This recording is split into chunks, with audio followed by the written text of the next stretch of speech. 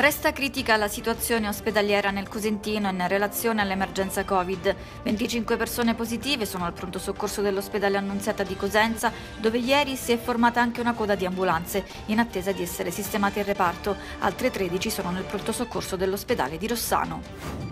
Si chiude il cerchio sull'omicidio di Carmelo Polito, l'uomo ucciso il primo marzo del 2011 a San Gregorio di Pona mentre passeggiava per le vie del centro in compagnia del figlioletto di 6 anni. A quasi due anni di distanza dall'arresto di Francesco Pennace, di 34 anni, di San Gregorio di Pona, ritenuto uno degli esecutori materiali del delitto, nella serata di ieri i carabinieri del nucleo investigativo di Vibo Valencia hanno eseguito una misura cautelare in carcere a carico di Rosario Fiorillo di Piscopio, già detenuto nel carcere dell'Aquila, e Giuseppe Pannace di San Gregorio, ritenuti rispettivamente mandante ed esecutore del delitto.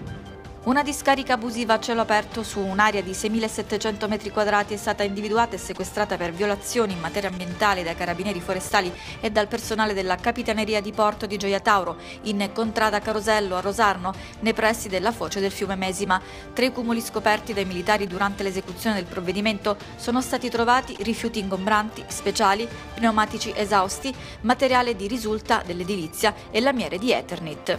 Il corallo rosso, quello nero e altre specie rare, mai trovate prima nel Mar Ionio, sono presenti nella secca di Amendolara, sito di interesse comunitario su quella che mitologicamente era l'isola di Ogigia, dove per Omero Ulisse visse sette anni in compagnia della ninfa Calipso e che potrebbe diventare la secondaria marina protetta calabrese. I risultati della ricerca realizzata in quei fondali sono stati illustrati dall'assessore regionale all'agricoltura e al patrimonio ittico Gianluca Gallo e dall'assessore all'ambiente Sergio De Caprio nel corso di una conferenza stampa nella sede della cittadella Iole Santelli a Catanzaro.